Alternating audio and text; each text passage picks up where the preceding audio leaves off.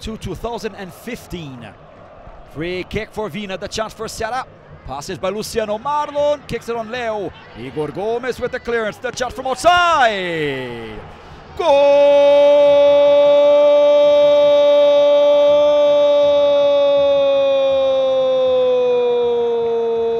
of Ceará. Memorable goal for Fabinho. A powerful strike, no chances for Thiago Volpi. Believe it or not, Ceará and Rogério Ceni's debut opens the score in the Morumbi Stadium.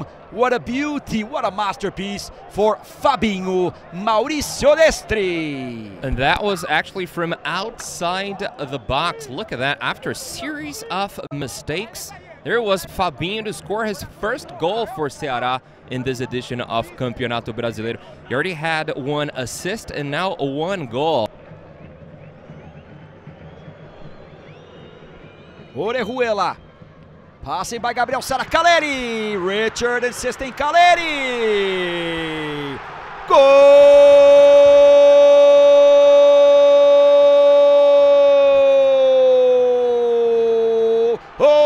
of São Paulo.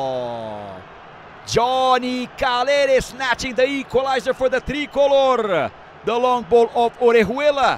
Passing by Gabriel Sara. Wrong clearance of Luiz Otávio. Richard does not grab it. And Johnny Calleri scoring his second goal this season for São Paulo. 1-1 São Paulo Ceará. The debut of Rogério Ceni Mauricio. And the myth Rogério Ceni definitely thrilled at this point.